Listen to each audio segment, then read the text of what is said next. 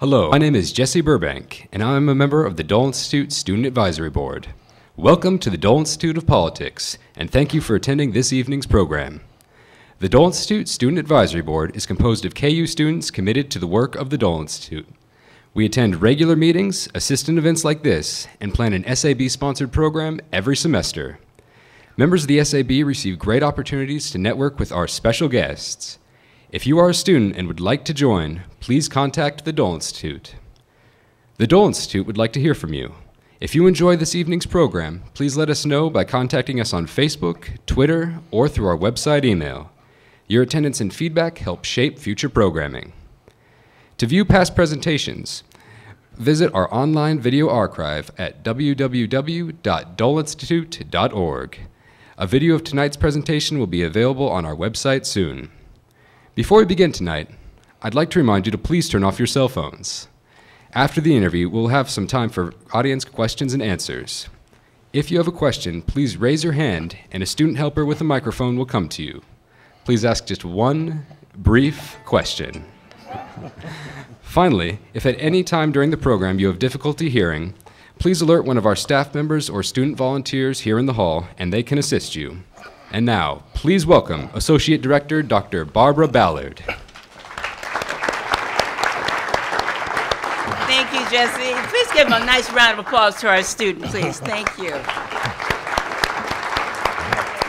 Much. Well, I'll say good evening and welcome to the Robert J. Dole Institute of Politics at the University of Kansas. We're pleased to have you join us for this presidential lecture series.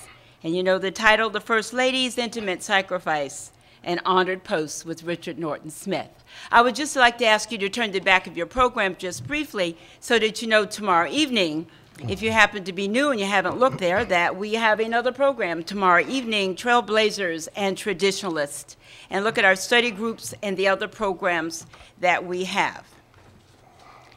On February the 17th, you learn more about Mary Todd Lincoln and her sisters, Lucy Hayes and Frances Cleveland. Tonight, you will hear more about the Wilsons and the Roosevelts. The 2014 Presidential Lecture Series is sponsored in part by the William T. Kemper II Charitable Trust and Commerce Trust Company and Bob Lloyd, co-trustees. This evening's interview will be conducted by Bill Lacey, Director of the Dole Institute, Richard Norton Smith, as you know, was the first permanent director of the Dole Institute and is a noted presidential historian.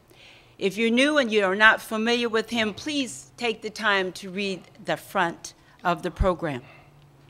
Richard is also a regular guest, and we're very honored every time he can come to the Dole Institute of Politics. With that, I would ask you to please give him a very warm Jayhawk welcome. He certainly has earned it. Bill Lacey.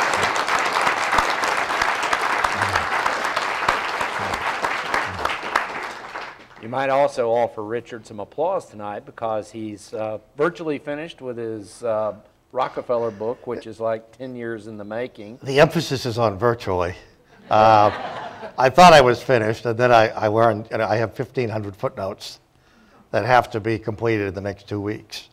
So, uh, anyway. So I shouldn't announce that it's going to be published this fall. No, it, it is scheduled to be published in November. And 14 years of my life have, uh, yeah, well, it's a big life.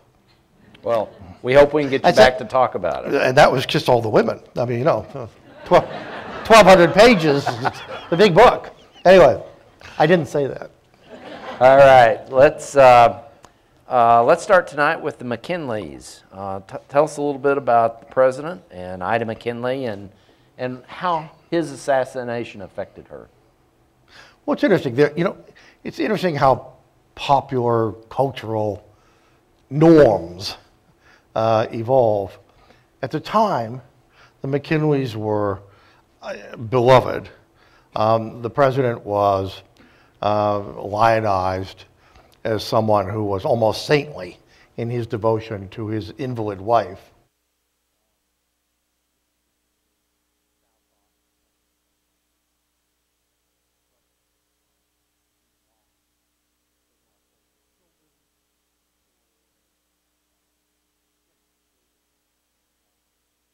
Today she's looked upon as kind of a harridan, um, you know, someone who was uh, burdensome and nagging and self-centered. Um, a hundred years ago, she was seen as a almost saintly victim. Um, McKinley's reputation has, has undergone really almost a revolution in the last few years. Um, it- you know, this is a man, the last president of the 19th century, and, and worse than that, the, the precursor to Teddy Roosevelt, which means he's been overshadowed. Uh, plus, he encouraged that. I mean, he was, he was not a swashbuckling figure. Uh, the McKinleys didn't have a, a, a White House full of children to entertain the nation, as did the Roosevelts. And um, he was a much more, much more like an Eisenhower figure, a hidden hand president. And yet he is the man who, who really took America onto the world stage. Not only the Spanish-American War, which he entered somewhat reluctantly, but you know, um, the Vietnam generation, it was William McKinley who, without consulting Congress, sent 5,000 troops to China to help put down the Boxer Rebellion. That was a remarkable display of executive power uh, at that time. Mrs. McKinley, um, through it all, insisted on being part of uh, all the White House social events. Um, it was, frankly, somewhat awkward um, when, because of her illness, um, she would, people who were there, William Howard Taft was a guest, and he left the most vivid description. Um, he, he suddenly, he looked over. First of all, the president and Mrs. McKinley were seated next to each other, which of course you would not do under normal circumstances. That was because of how protective McKinley was. Um, she would have a seizure in the middle of a dinner, and there would be a hissing sound emanating from her rigid face. And the president would wordlessly, uh, as uh, unobtrusively as possible, and from long practice, whip his dinner napkin out and drape it over his wife's face until the, uh, the seizure passed, and she resumed often in mid-sentence. Now, you can imagine, um, this was a stuff of gossip. Uh, I mean, once you saw it, you probably didn't forget it. And McKinley was, um, you know, McKinley was a man in love all his life. Uh, I think he was in love with, you know, the bank teller who he had met and married in Canton, Ohio. Um, he told the vice president's wife, "Oh, you know, if you could have seen Ida when she was young, she was so beautiful, and she was."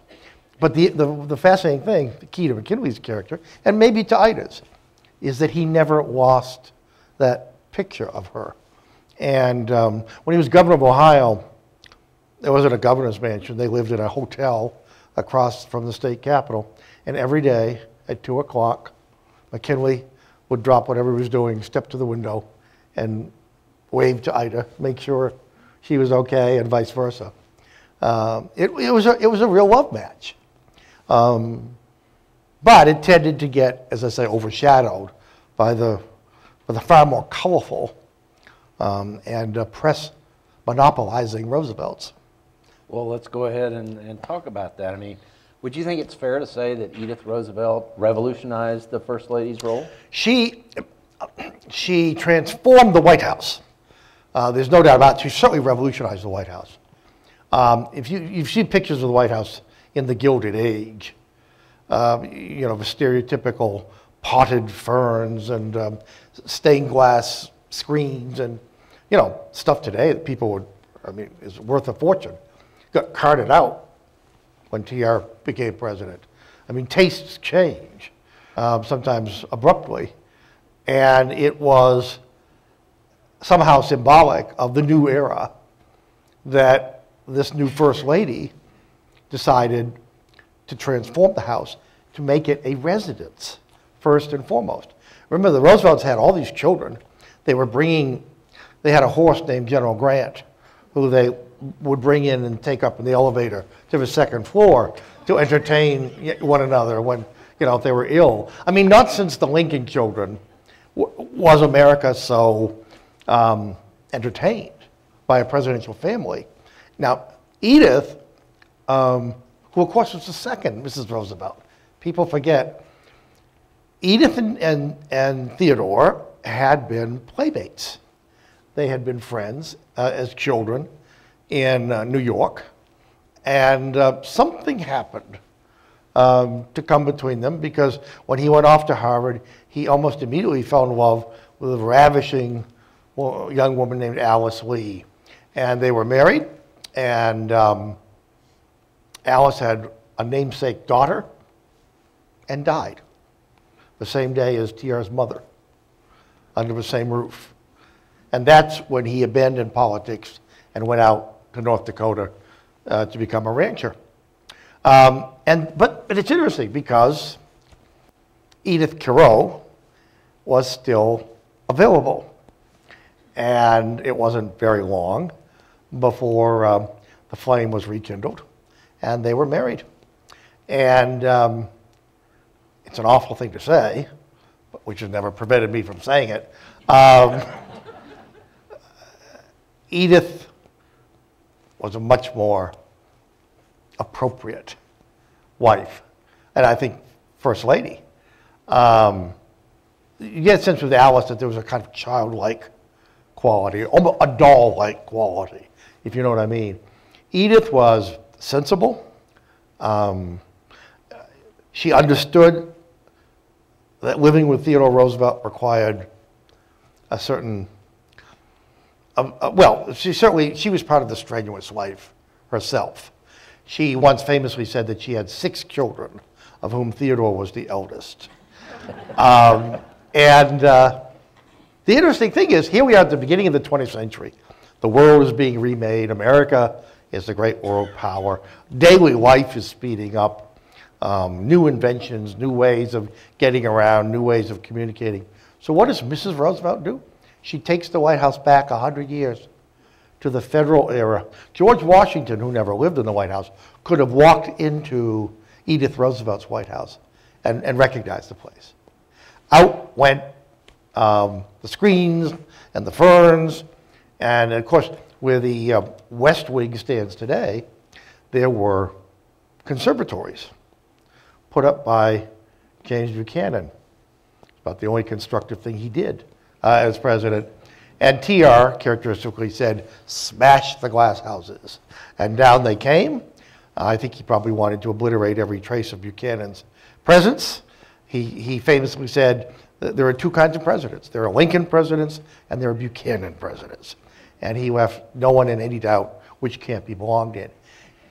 She almost single-handedly is responsible for the redesign uh, of the White House. Remember, Mrs. Benjamin Harrison had come to grief when she wanted to put that god-awful um, design that she had um, with, with wing. It looked like a palace.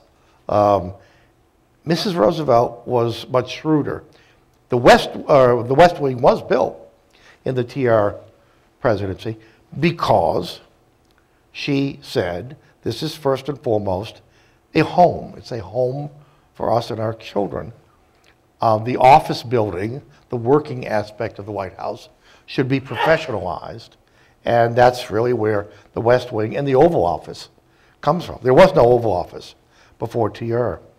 But she, you know, she, um, on the other hand, she was no fashion plate. She, she was thrifty. The Roosevelts did not have a lot of money, contrary to what people thought. TR lived by his pen. Um, one newspaper rather cattily said that Mrs. Roosevelt looked as if she dressed on $300 a year. Um, she clipped it out for her scrapbook.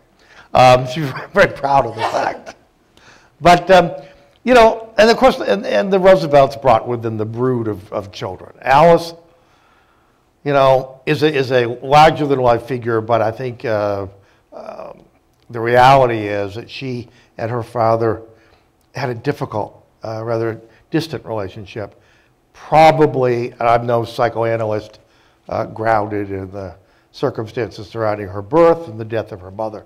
He never mentioned her mother to her, which I find For a man who was so ebullient and outgoing and effusive, there were clearly chambers of the heart that were sealed forever. He never mentioned her in his autobiography, as if that was a sacred memory or too painful to deal with. And I think that had to have spilled over into the relationship uh, with Alice. The other the children were all Hellraisers uh, from day one. Um, uh, you know, wasp Hellraisers um, in, the, in, the, in the Roosevelt tradition. Uh, and they all had a great time. No presidential family ever enjoyed themselves more. One quick thing, again, you, sometimes it's funny to get your arms around the fact Edith Roosevelt also looked upon the White House, as did her husband, in a very modern way, as a showcase for the nation's great artists and writers. Um, they brought a cultural dimension which really was unprecedented. And the best, the best symbol of that and what it foreshadowed was the great uh, Pablo Casals, who performed at the Roosevelt White House and 60 years later performed at the Kennedy White House. Uh, amazing story. Uh, as First Lady, Helen Taft literally changed the landscape of Washington, D.C. What, she changed you... more than that. Yeah. Helen Taft, again, someone very largely forgotten today. Helen Taft was, I would say, the first feminist president. Well, there's a Freudian slip. Many people thought she was president, um, and she did nothing to, to dispel the, uh, the illusion. On Inauguration Day, symbolic of this, she became the first First Lady to ride back to the White House in the same carriage as her husband. Um, she was, it's pretty clear today, uh, exercising vicariously through will, an imperfect vessel, uh, her own political ambitions. And, but more than that, politics aside, she said at the age of 22 that she, for one, did not think that marriage should be regarded as the ultimate achievement of womanhood, um, which was a pretty radical thing to say, uh, even if you thought it, um, which I suspect a lot of married women did. The um, maybe then and now. Anyway, um, Nellie Taft brought to the White House, well, her ambition to live there, first of all, was uh, somewhat unladylike. Remember, Mary Lincoln had been criticized uh, for openly uh, partnering with her husband in the political process and in the campaigning process. Um, Nellie attended the silver wedding anniversary of uh, their Ohio friends, Rutherford and Lucy Hayes. It was her first time in the White House, and she seems to have left the experience uh, dazzled and determined to repeat it. Um, and indeed, the great social event of the Taft presidency was the, uh, the their silver wedding anniversary. She um, saw something in this young um, Cincinnati lawyer that I'm not sure he saw in himself. Um, history regards William Howard Taft as a, as a man perhaps of more judicial than political temperament. He said himself, I hate politics when I'm in it. He was thin skinned, he was very sensitive. I mean, the qualities that made him lovable uh, and, and, attracted a vast uh, army of admirers, even of people who didn't vote for him. He, was like McKinley in, in that warmth, but without McKinley's political shrewdness. Um, in any event, it's a long story, but Helen was there every step of the way. He would have been very happy to have a Supreme Court seat. TR, his dear friend at the time, offered it to him. Um, but Helen didn't want to be the wife of a Supreme Court justice. But to give you an idea of the character of, of both of these people, he got an appointment. He's America's first viceroy. Uh, remember, we had annexed the Philippines amidst much controversy, and there was an ongoing Iraq like insurrection um, in the country. Thousands of Americans died. Uh, a handful died in the Spanish American War. It's the aftermath that um, transfixed America for several years. Taft, who was even then regarded as, uh, you know, kind of a natural administrator, and at the, at the same time a man with a talent for making people love him, uh, was asked by McKinley to become the first governor general of the Philippines, a thankless job under the best of circumstances, let alone in the midst of this insurrection. For one thing, the American military didn't want a civilian uh, governor general. Anyway, uh, they went dutifully and they fell in love with the Philippines, and the Filipinos fell in love with them.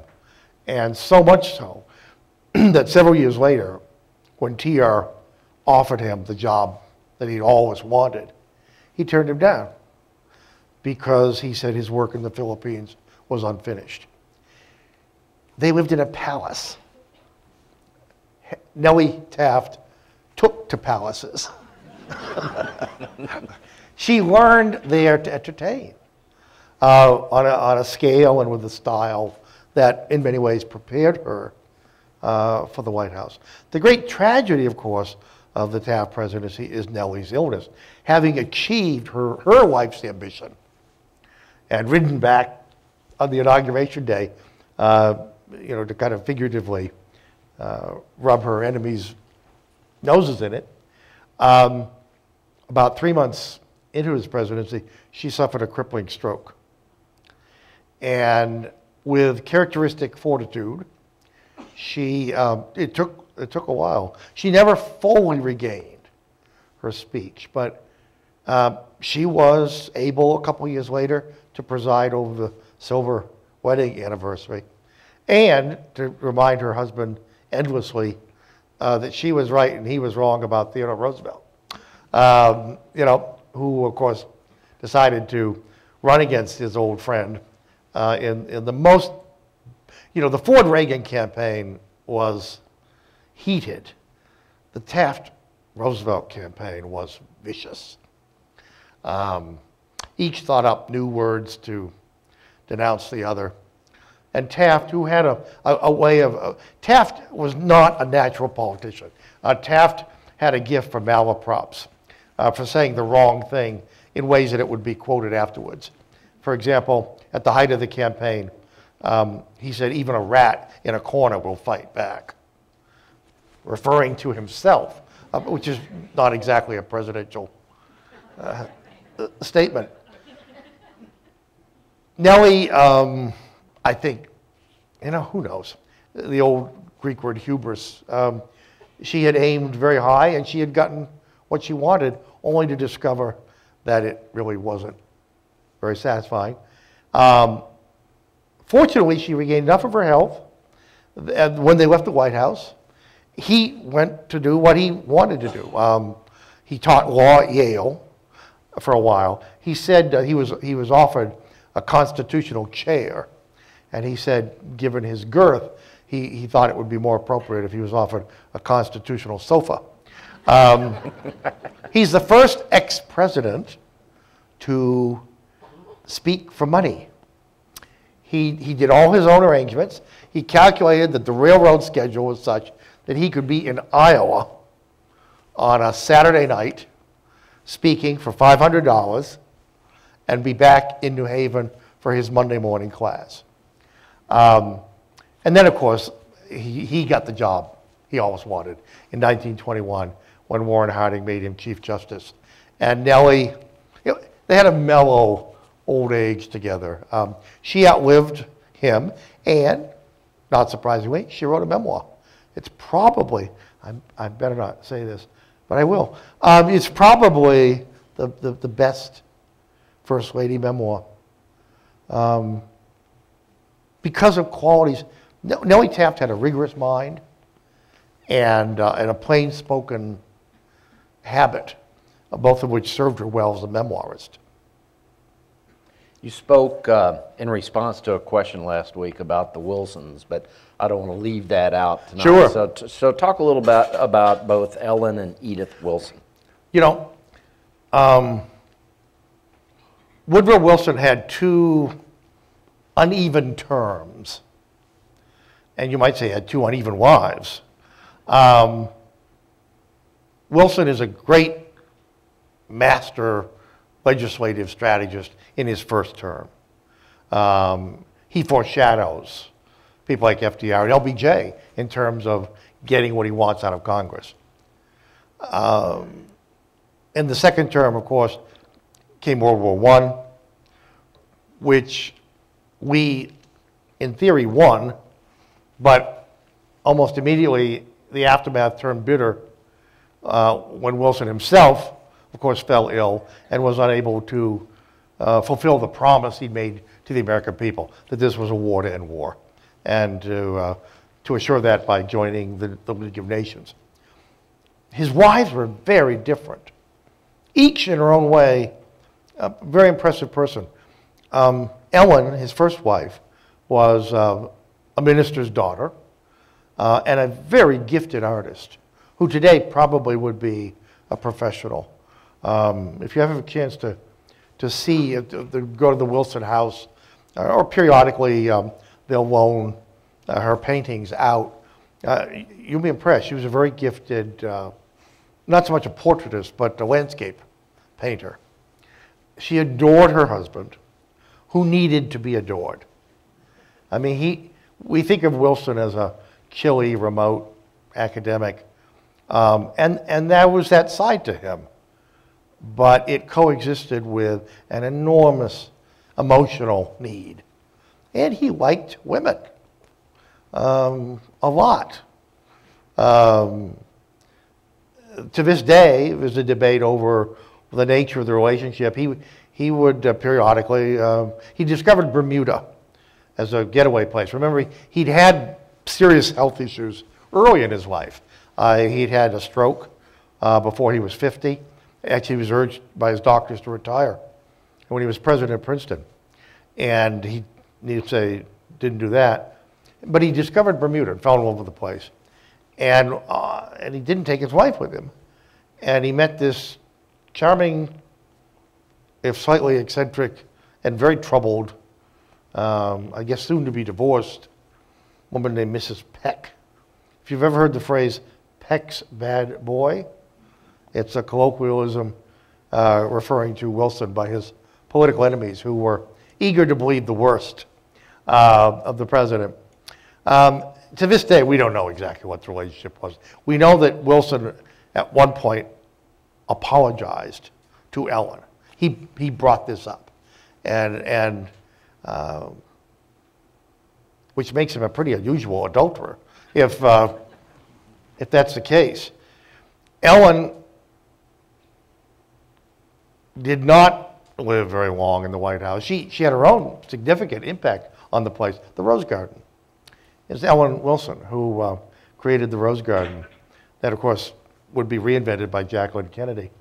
And um, she could see the garden being planted from her bedroom window on the second floor of the White House, where she died uh, in August of 1914, 100 years ago, the, the same week that World War I broke out. And uh, you, I mean, you know, Wilson was just shattered. And as I said before, he, he, uh, he expressed at that time the hope that somebody would assassinate him. Um, now, that said, within eight or nine months, uh, he was courting the second Mrs. Wilson, Edith Bolling Galt, who was a 42 year old widow of uh, Washington's leading jeweler. In fact, Galt and Sons only closed about three or four years ago. Hmm. So she had, she had plenty of money. She was an independent woman. She, uh, her one claim to fame is she thought to be the first woman in Washington to drive herself around town, which was kind of a emblematic of her approach to life. She wasn't at all sure she wanted to be married to the president. Again, the debate goes on. What was her motive? There are people who look upon her as a uh, not a gold digger, but maybe a power digger. Um, and, and, and let's face it, it had to be flattering to have the President of the United States courting you. and, and Wilson didn't court like most people. Wilson wrote reams of love letters, um, extraordinary love letters, sometimes two or three a day. Um, clearly, there was some emotional release involved, uh, and she eventually uh, swallowed her doubts. He told her about Mrs. Peck, and briefly, uh, there's some question as to whether it would destroy the relationship. In fact, it made it stronger. The fact that he had been so candid. And um, she decided that she would take the plunge. Um, and thereafter, she became, you know, I once heard a um, historian describe her as the worst first lady in American history. And I don't know what they based that on. Um, there was the notion that perhaps you know, she unduly influenced her husband. Um, I don't think that's true. Um, in fact, he made her a partner. They had desks, they shared desks, and he shared papers of state, of speeches that he was writing, diplomatic correspondence.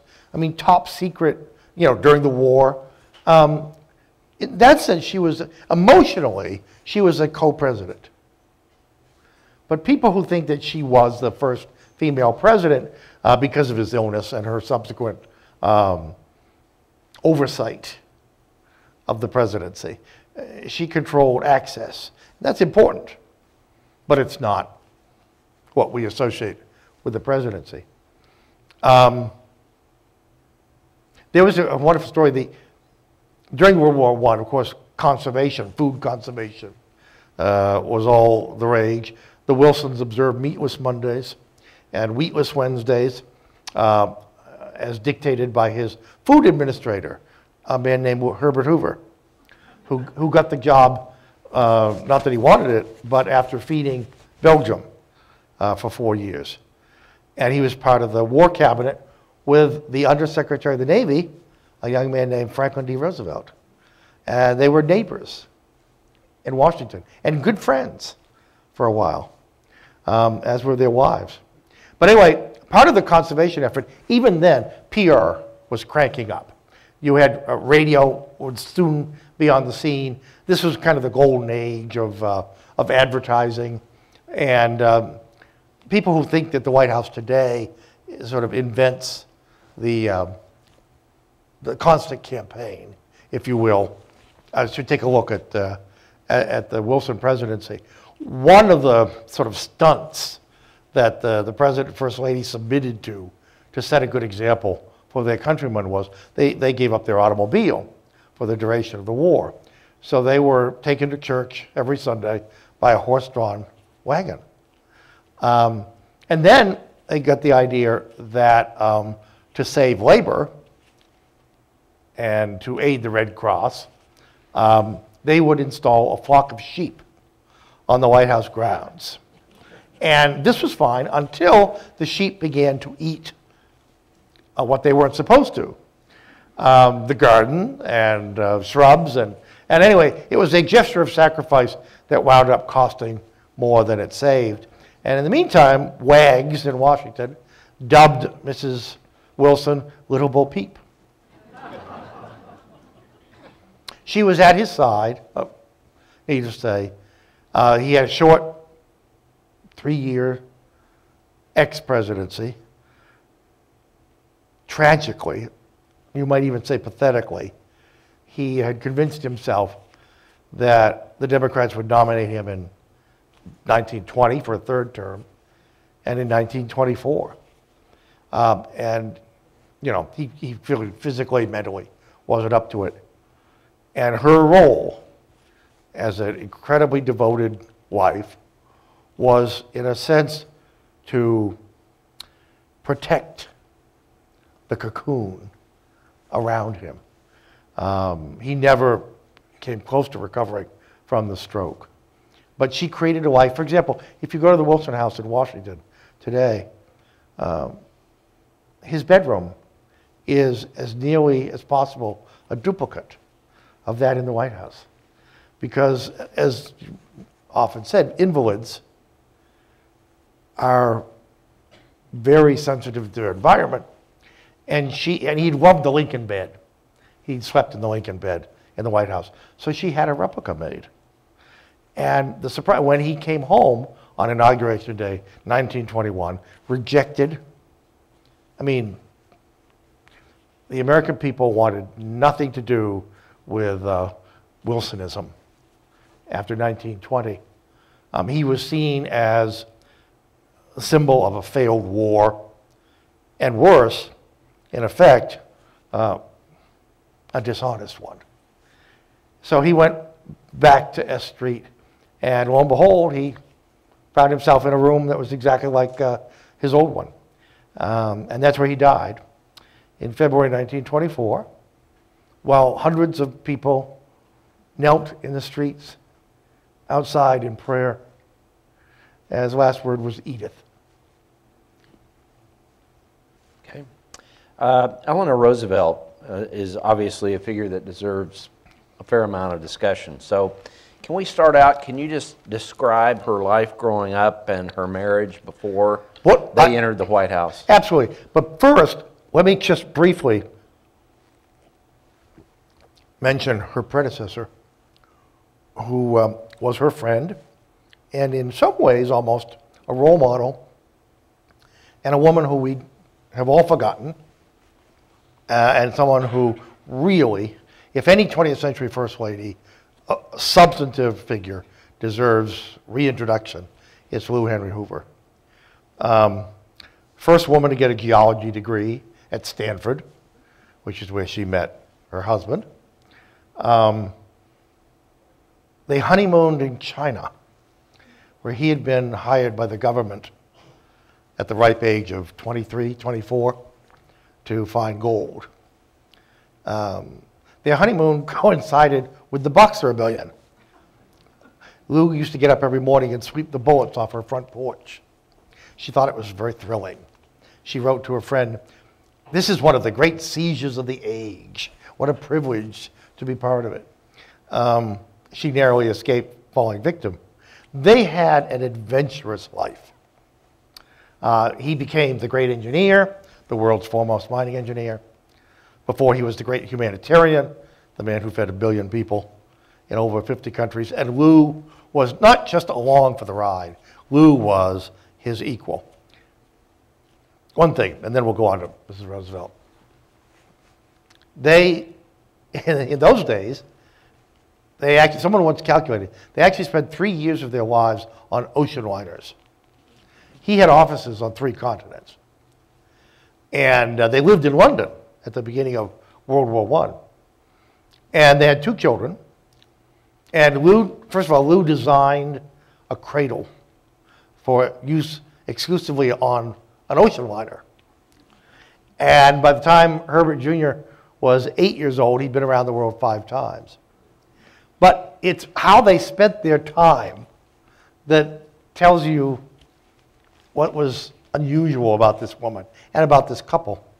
And, and tragically couldn't bear fruit in the, in the Depression years. Um, she'll always be a kind of what if First Lady. But um, they wanted to pass the time usefully, and that meant intellectually.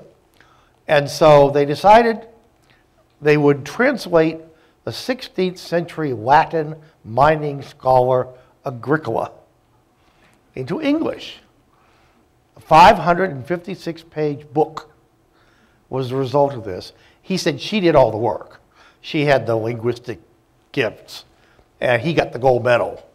But, uh, you know, that was symbolic. One other thing, when Mrs. Hoover died in 1944, by then the, they were living at the Waldorf Towers in New York, and the president went to her desk and opened it and found it was stuffed with uncashed checks from people who, during the Depression and thereafter, had written to the First Lady appealing for financial help. And she had very quietly uh, done what she could uh, but didn't bother to cash when the, when the, when the, when the, when the help was repaid. Um, and that, in some ways, is symbolic. She, it was an act of kindness, um, which never, for which she never got credit. And there's a lot about Mrs. Hoover for which she never got credit. But she was a good friend of Eleanor Roosevelt's. And um, in many ways, I think, I think in some ways Eleanor Roosevelt is the first lady that Lou Hoover would have been had, of course, her attention not been totally focused on, on the emergency of the Depression. For example, she's the first First Lady to speak on the radio, which, of course, Mrs. Roosevelt then um, institutionalized uh, $500 a minute. She got 300,000 letters one year. She had bigger radio audiences than her husband. Um, two days after his inauguration, she um, stood outside the Red Room with a, a box of candied fruit uh, and convened the first press conference ever held by a First Lady. Now, um, only women were allowed at Mrs. Roosevelt's press conferences. Um, so it was a sexist innovation in some ways. But uh, it was fascinating. She was outspoken, um, not only in what she said, but in what she did. She welcomed black sharecroppers to the White House. She um, had an annual garden party for um, female government workers so that they could take time off from work uh, and come and see the White House. Um, her cousin Alice, who had grown up to have a not altogether attractive, rather waspish tongue, um, was famous for her imitation of Eleanor, um, which was not flattering, needless to say. But she recognized Eleanor's sincerity and her place in history. Um, she said, never had anyone so comforted the distressed and distressed the comfortable. Which is not a bad epitaph if you stop to think about it. Of course, the, uh, the, the relationship between the Roosevelts is one of endless fascination and to some degree speculation, as is, excuse me, as is her relationship with Lorena Hickok.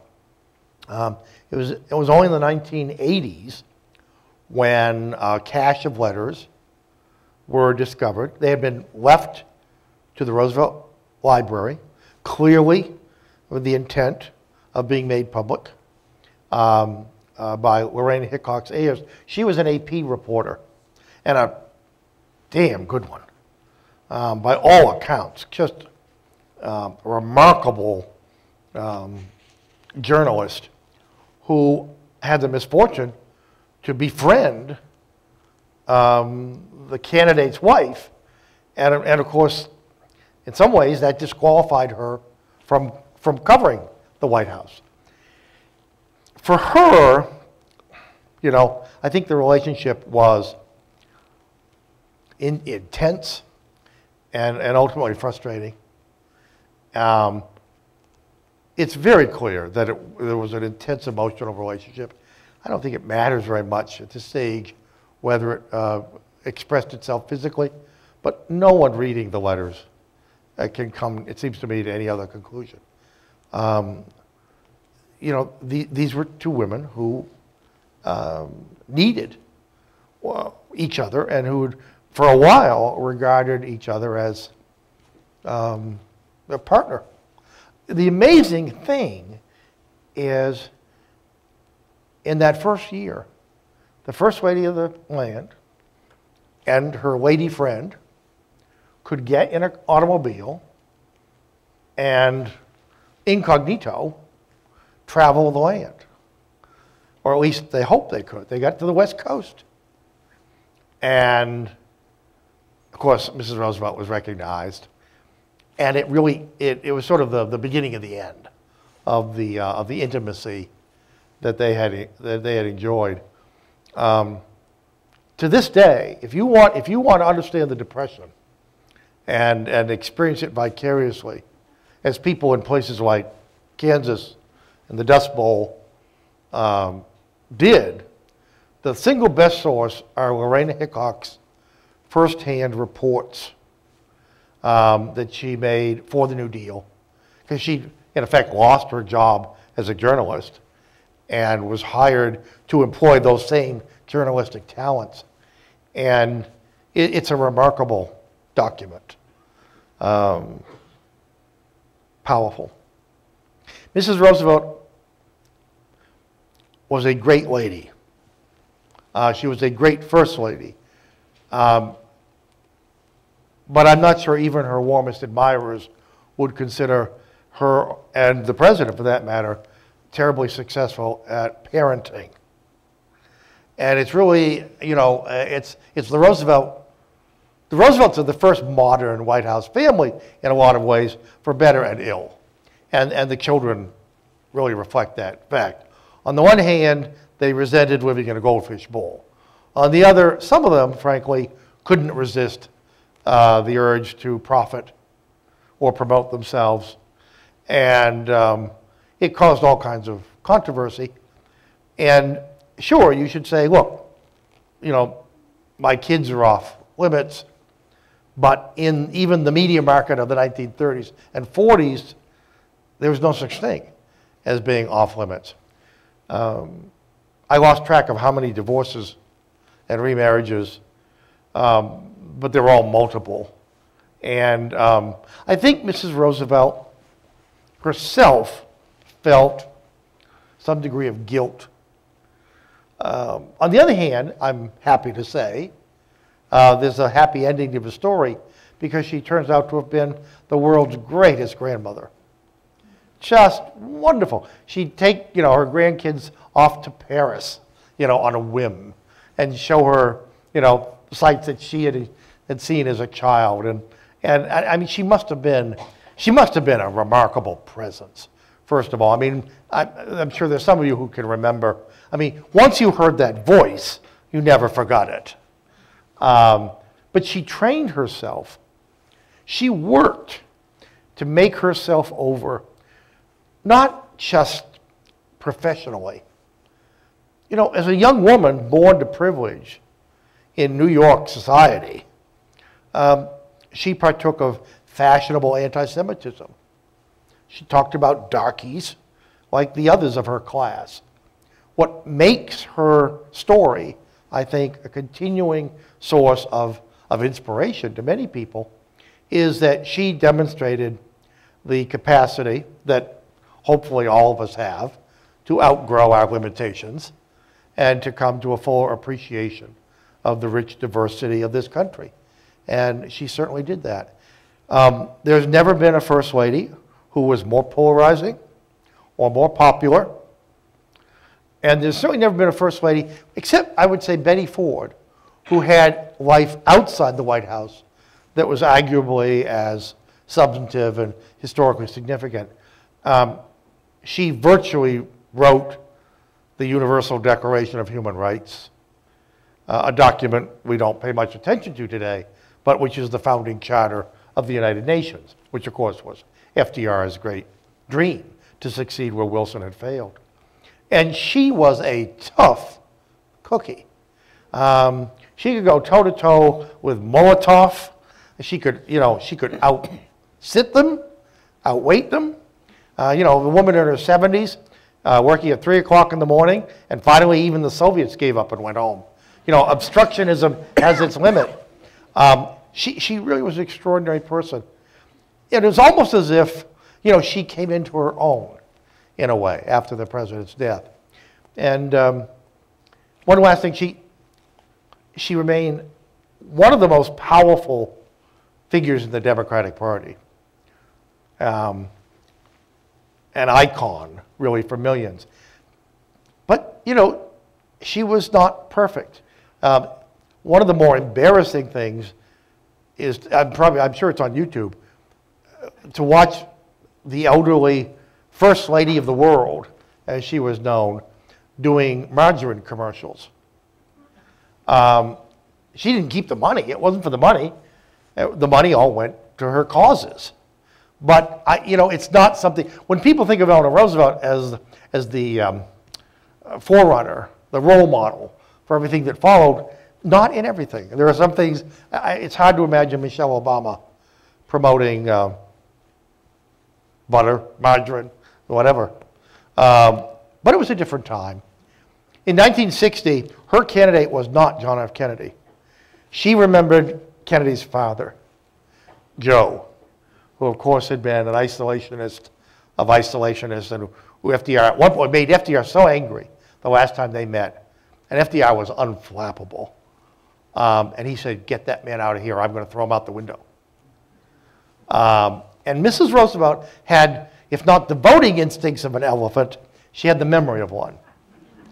Um, she told Carmine DeSapio, the, the Tammany Hall boss, who knifed her son in the race for governor of New York in 1954, I won't forget. And she didn't. She, and Carmine, it took eight years, but Carmine DeSapio was uh, knifed himself. Um, her, her great, you know, political love in the last years of her life was Adlai Stevenson.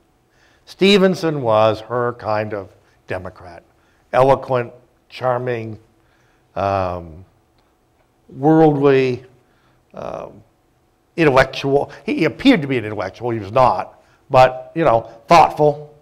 And um, three times she went to bat for Stevenson. And in 1960, she wanted, she'd hoped that the Democrats would draft him a third time, and um, didn't take. She and JFK had a meeting at Val-Kill, her cottage that she built two miles from Mama's house, as she referred to it. And uh, it was interesting. They said JFK came away smitten. And um, there is an amazing photograph of four American presidents Truman, Eisenhower, Kennedy, and Johnson um, at her funeral in 1962, uh, which tells you something about the, the power she still retained. Okay. I have one final question, then we're going to open it up to audience uh, Q&A. So be thinking about uh, what you might like to ask Richard, and remember to hold your hand up and wait for one of our students with a cordless mic to uh, come by.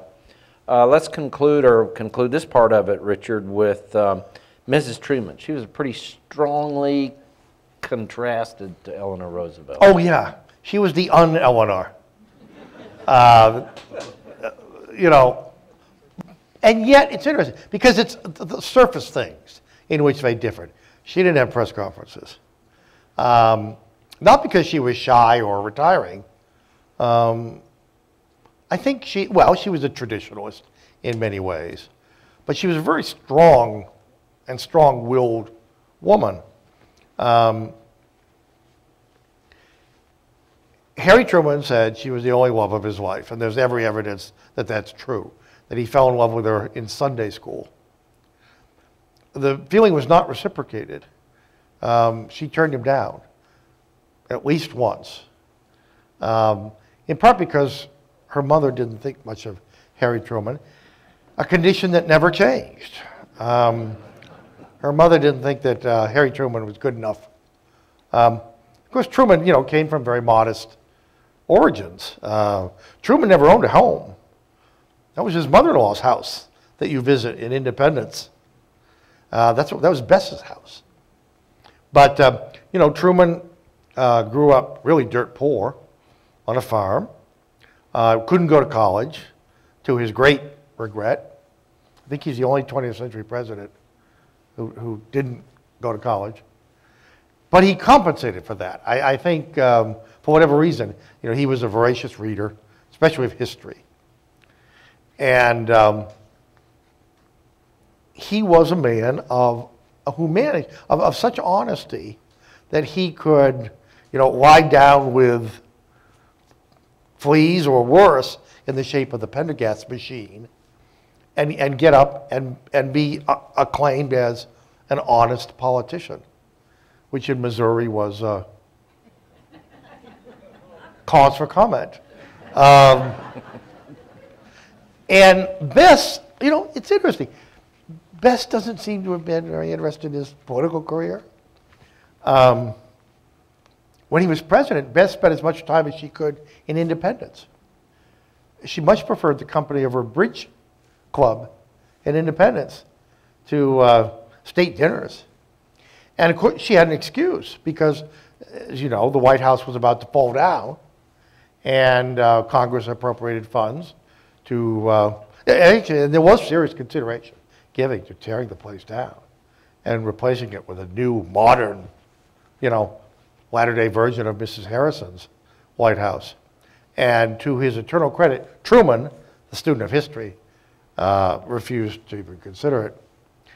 Um, but, you know, he paid a price because, first of all, the Trumans were moved across the street to Blair House. Um, secondly, you know, Bess wasn't there a whole lot. Again, it's amazing to think, can you imagine today if the First Lady spent half her time, you know, out of Washington? Um, and they're sad letters. Um, the, the Trumans were wonderful letter writers, and you can imagine all Truman's pungent qualities of expression uh, translated well to paper. And uh, one Christmas, Christmas Day, he was alone at the White House. And she was back in Independence with Margaret.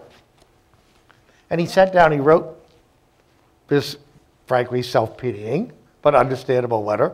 He was a man with the weight of the world on his shoulders and without the woman he loved. And um, wrote the letter and then decided better. He flew out to Independence. Um, they, you know, they had, this, they had the, the White House, the little White House at Key West, which Truman loved. Um, that was his getaway. He could go and he could play poker and drink bourbon and play some more poker. Um, and needless to say, Bess, I think, went once. It was not her environment, you know. But, you know, in some ways, you step back, it, it, it's almost a perfect marriage. Each understood the other, each set aside, you know, these, this, this is a line I won't cross. These are the areas, you know, they're sacrosanct. I mean, it worked. They, they were a love match. Which is, I mean, one of the things to come out of this series is the challenges, the difficulties, the ordeals, the losses, the tests that attend life in the White House. Most of the time, have forged closer bonds between the president and first lady. And I think that's in part because if you're president, you know, who do you trust ultimately? Who is your ultimate supporter uh, and friend, and ally, uh, and uh, an advisor? And um, there have been exceptions. We have mentioned the Coolidges. I'm a Coolidge fan.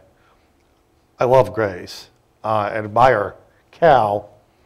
Um, she said afterwards, privately, a couple times she almost divorced him.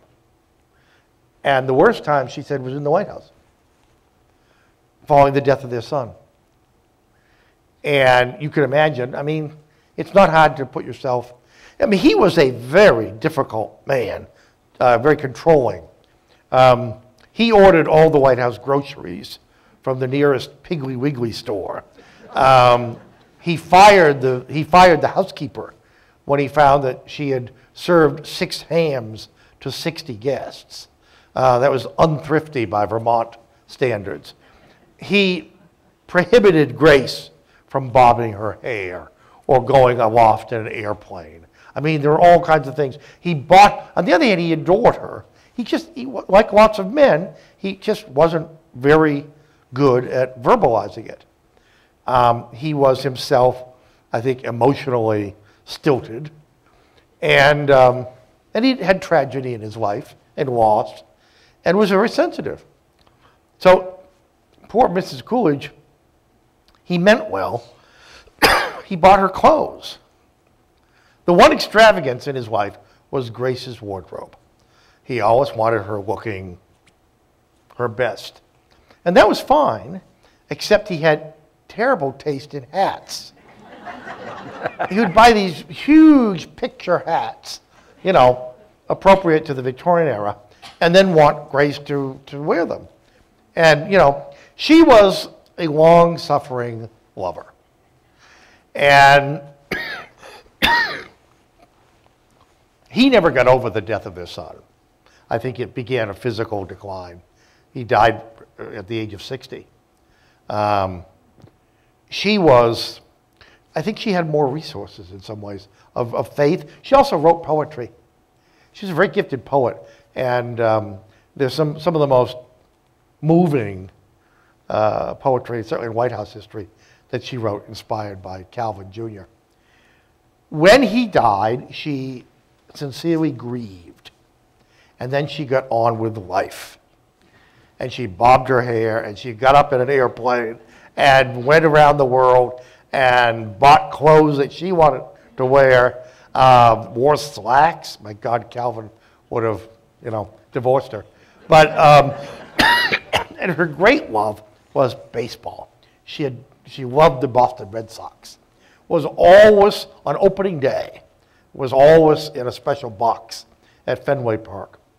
And at the end of her life, the last year, you knew it was near the end of her life because uh, she couldn't go. So, uh, but the Red Sox uh, sent her roses and dedicated the game to her. Um, remarkable woman. And, um, well, she, another classic instance of someone who the more you know about her, the more you want to know. And uh, the riches, the rich reward of, uh, of curiosity um, where the first ladies are concerned. Okay. Let's go to audience Q&A. Uh, raise a hand, and uh, we've got Anthony, somebody right here in front of you. Uh, thank you very much for your um, lecture. It was very informative.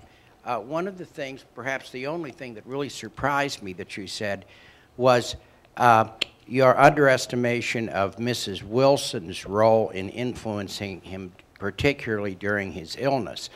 Uh, is that a, now a revisionist theory? Because I always, through my reading, understood that it was probably uh, not just access of individuals, but also of the information he got and the spin that it was put to him by she and Colonel House in the absence of uh, his contact with very many other people. Okay. Um, yes, to some degree it is revisionist, uh, based upon we now have access to Dr. Grayson's papers. Dr. Grayson was much more than the White House physician. And in fact, it was not Colonel House who actually Mrs. Roosevelt, or Mrs. Roosevelt, Mrs. Wilson came to despise. Uh, but her ally in this was uh, Dr. Grayson. And, um, you know, you can argue it either way. Access to a president is power, there's no doubt about it. But it's not the initiative power that we associate with presidential leadership. She wasn't proposing legislation. She wasn't passing judgment on appointments. She was trying to keep her husband alive and, and therefore control the number of people whom he saw. There was nothing conspiratorial about it, and I don't think anything particularly uh, reeking of personal ambition. I, again, it's, it's easy to forget, first and foremost, I think now as then, but certainly then, that the, you know, these are human beings. Um, she'd been through this remarkable whirlwind of, of events with Woodrow Wilson. But to her, he wasn't the president of the United States. You know, he was the man she loved. And um, so I think, you know, no two people interpret the same documentary evidence uh, the same. But I think, for example, uh, uh, the Scott Berg uh, biography of Wilson, recently published, I think offers a much more nuanced uh, view of what her role was. It was unique. It's never been repeated, thank God. I mean, one of the interesting things, you know, Dwight Eisenhower did more than anyone else to demystify presidential health. And it- because Ike, as a young cadet at West Point, had marched in Woodrow Wilson's inaugural parade. And he was of the generation that vividly remembered how the White House had, in effect, tried to cover up the severity of the president's illness. The remarkable thing is the press went along. You should read the, the New York Times you know, coverage. I mean, they swallowed whole the story that, you know, greatly minimized the extent of the president's uh, incapacity. Today, uh, there's no doubt he would resign. And, and sadly, had he resigned, then I think his historical reputation would be higher. He would be seen as a, as a victim, as a martyr, really, for the principles uh, that he espoused, above all, the League of Nations. Okay, we've got a question back here. You talked about the importance of, of the husbands of the first ladies, but you really didn't get into the importance of Franklin in Eleanor's life. Well, there's no doubt that um, that's, that's a complicated subject. Um, I'm not sure we have evenings enough to do justice to, the, to, the, to that relationship, which, uh, which is a fascinating one, and obviously a very consequential one for American history.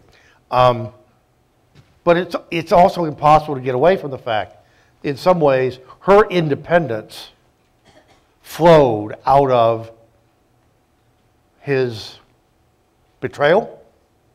I don't know what else you call it. Um, his affair with Lucy Mercer, her a social secretary. I often say, you know, the, the conventional take on the Roosevelt story is that FDR was this sort of high toned aristocrat's son um, who was remade, reshaped. Iron entered his soul as, as a result of his paralysis. Uh, he learned empathy um, and to identify with wife's victims. And all that's true. But, but there's another factor, I think, almost as true in terms of knocking him off his pedestal, in his own words. And that was the heartache and the pain and the suffering uh, and the shame, all, all surrounding uh, his affair with Lucy. What it taught him was that fundamentally decent people, um, in the throes of their emotions, can behave in ways that they themselves would disapprove of uh, in, in, in, normal times. Eleanor offered him a divorce. Um, and Mama promised to cut him off financially.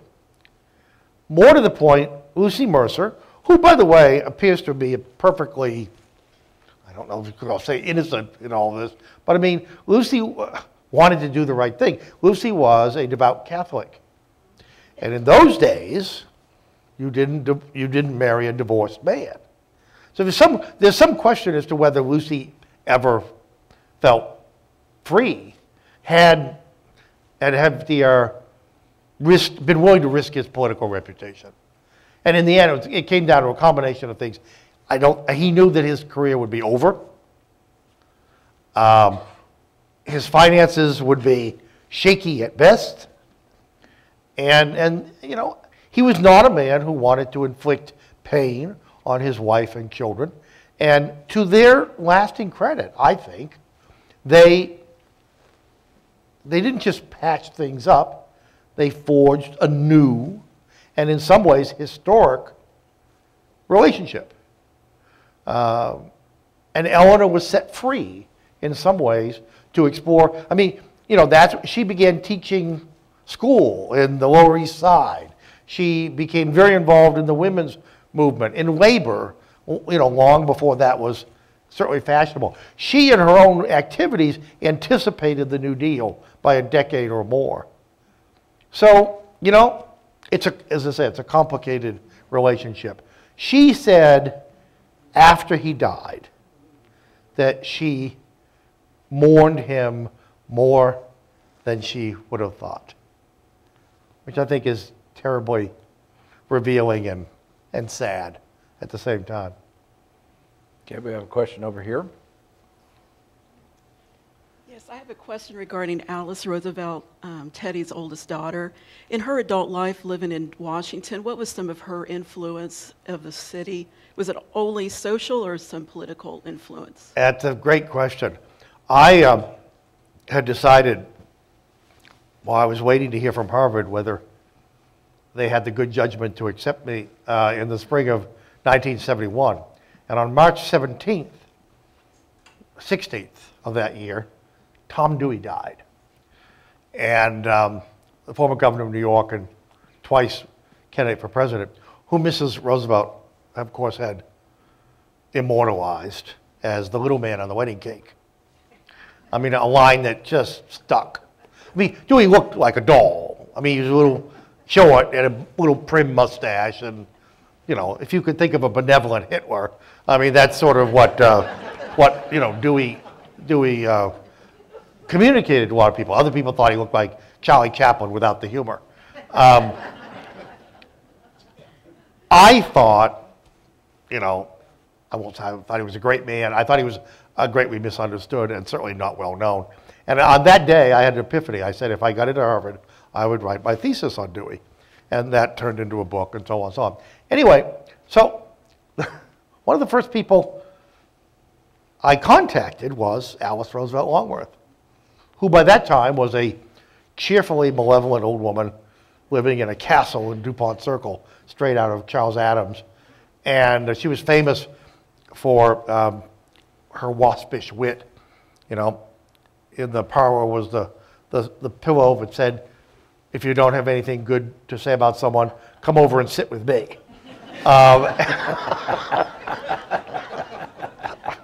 which sort of sums up. Now, what people didn't know is, I mean, to this day, you know, there are those who say, why didn't Alice Roosevelt Longworth emulate Eleanor Roosevelt and pursue meaningful causes and devote her life to, you know, substantive events instead of being a, a wit and a, you know, coveted dinner party guest and, and the like.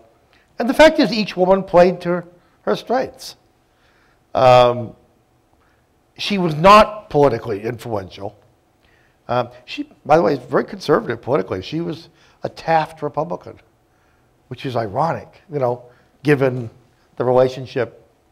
Um, she had a rather tragic marriage to the Speaker of the House, a man who liked to drink more than work, um, and uh, was not the father of her child. Um, she wrote a newspaper column for a while.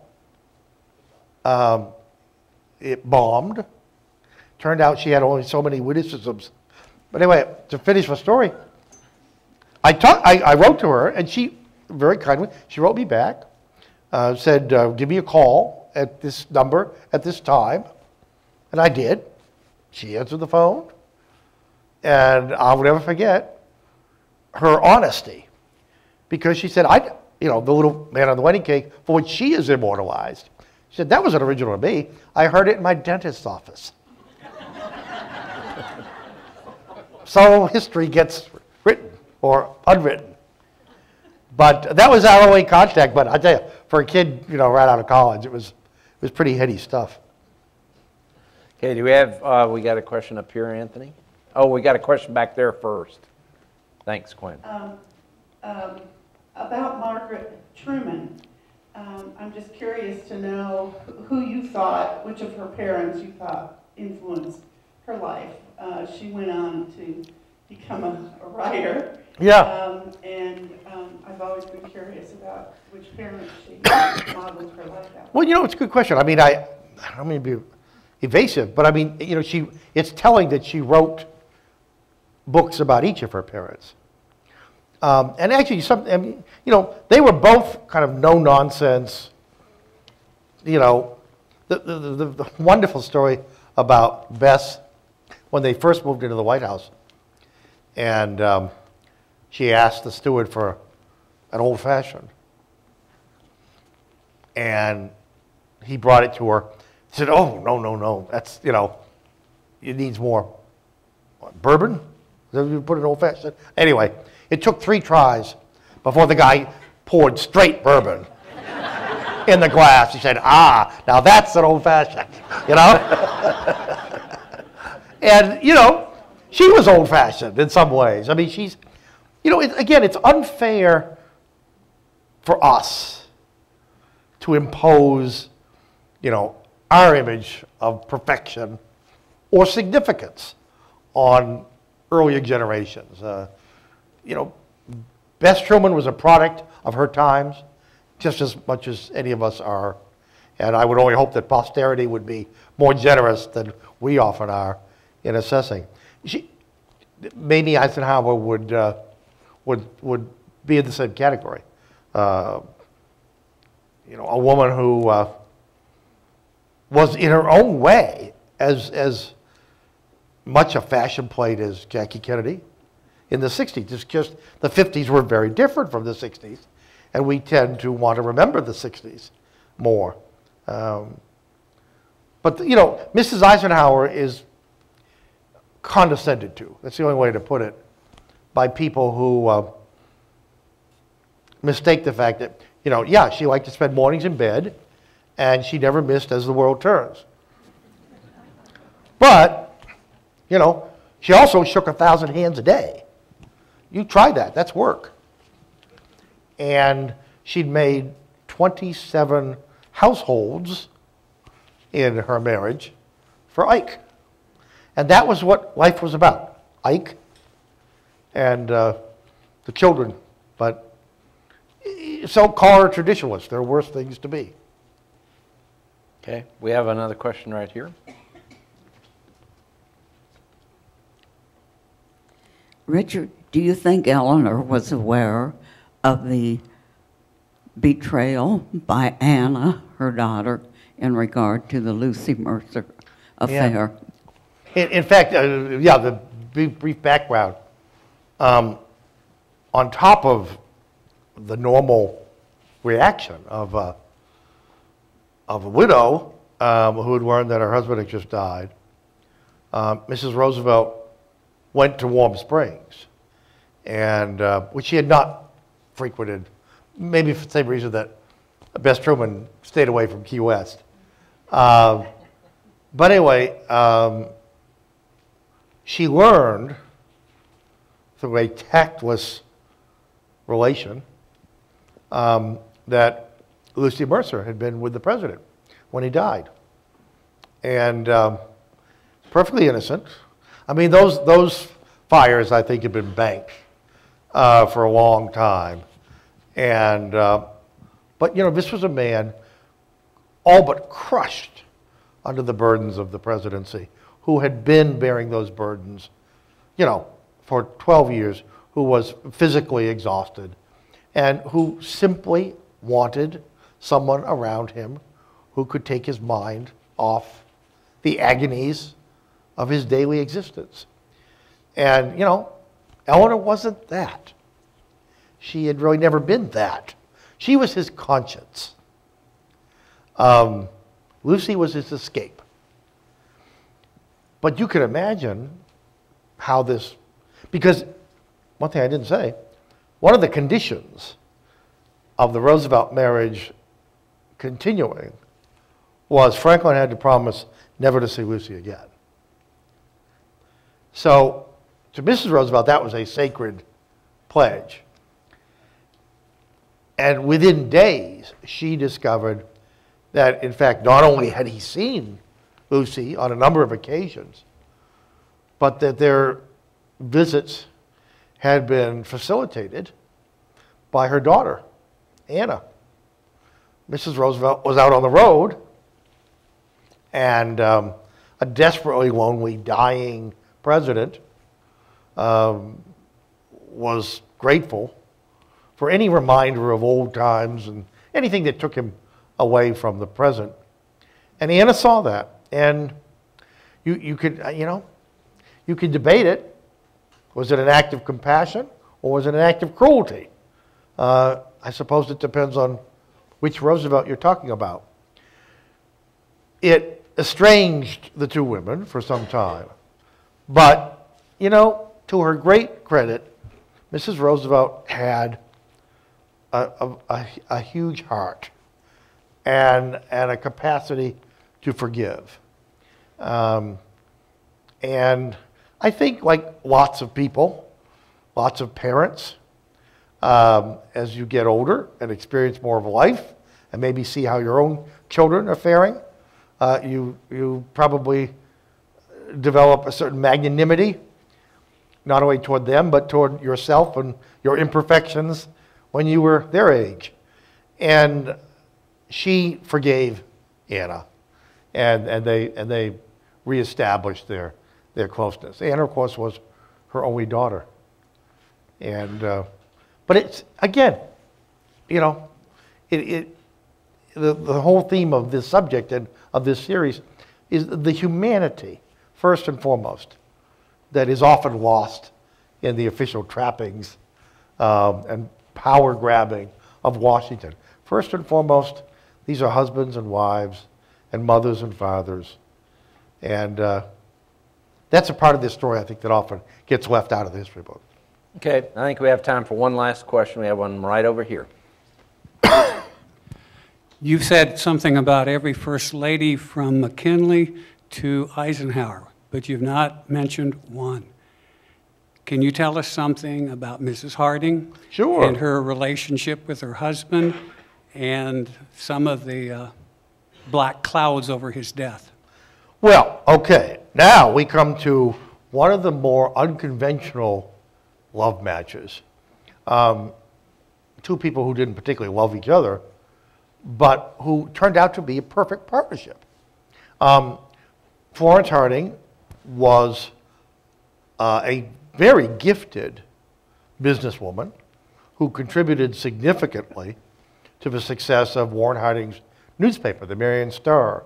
And it was on, on that newspaper, typical of Ohio at the time, that he based his political career. State Senate, Lieutenant Governor, United States Senate, and ultimately the presidency in 1920. Along the way, uh, he had a wandering eye, and it was kept busy um, in Marion and elsewhere. I mean, it's how he juggled all of the affairs, not necessarily of state, um, is, uh, is a, a, source of continuing wonder. Um, his, his apparently his, his real love was, well, Florence, because we're talking about first ladies. Mrs. Harding was five years older. Her father was sort of the, the, the dominant local factor economically, you know, small town power broker who um, cut her off when she married Warren Harding. She had already, she was divorced. She's the first divorced woman to be first lady. Um, and in fact, more recently, talk about uh, changing views, there is evidence that, in fact, it was a common law marriage. She had a son that ended badly. Um, and yet, here's a woman, talk about the 20s woman, the new woman.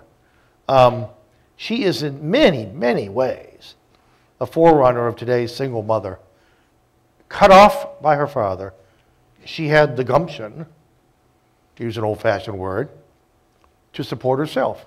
She supported herself by teaching piano to the no doubt talentless youth of Marion. and, um, and she pursued Warren. There's no doubt. She, uh, she set her cap for him. And she was, she was shrewd. Um, they were married it's a, it's a curious marriage. Um, look at pictures of them, you know. Some people just don't look like they shouldn't be together. I mean, some people look like they were, you know, born to be together. Um, he called her the Duchess. We don't know what she called him. Um, but she was, she was aware of his wandering eye. Anyway, the, the, the, problem uh, could have become a catastrophe because in 1920 the Republicans nominated him as a dark horse candidate when all the front runners knocked themselves off. Now, Mrs. Harding, long before Nancy Reagan, Mrs. Harding consulted a Washington astrologer, Madame Marcia, uh, who had an office in DuPont Circle. And she attempted to disguise herself. And she went there, and Madame Marcia may or may not have been good at predicting the future, but she certainly knew senators' wives when she saw them.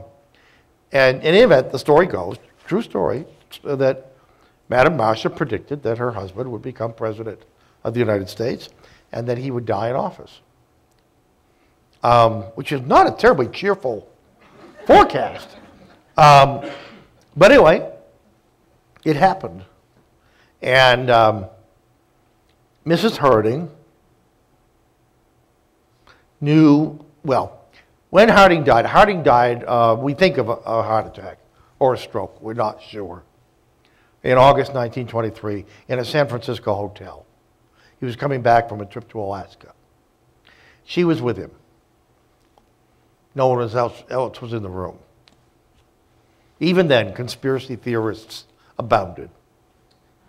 Because, of course, Teapot Dome was about to burst open.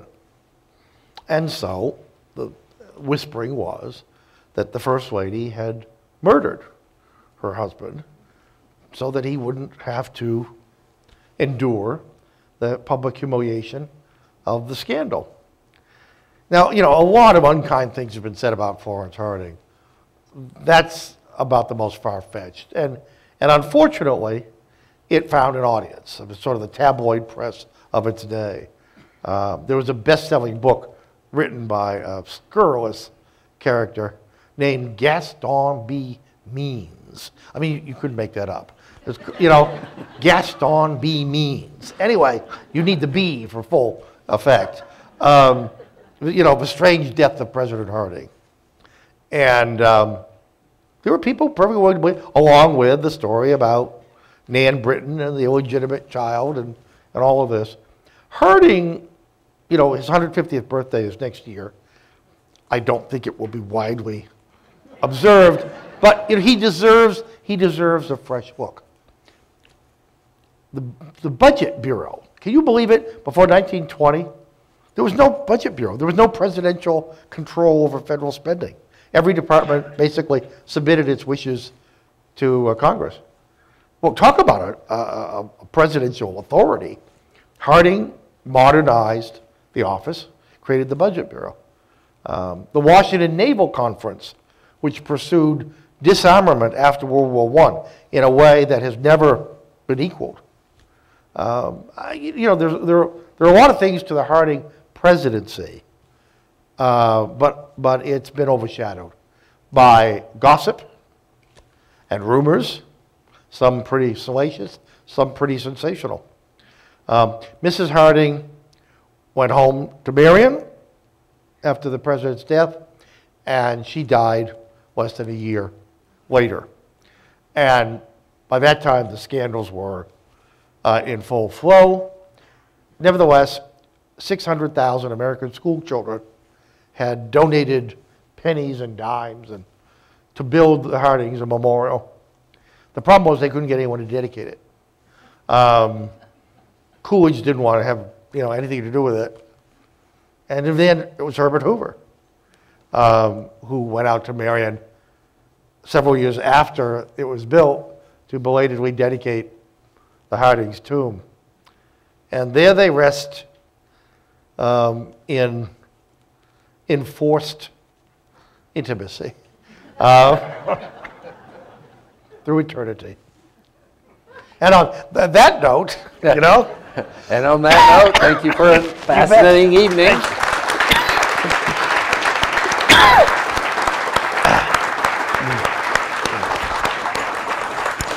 I want to I want to share something with everybody because so many of you have said, "Well, now you and Richard go over what you're going to talk about."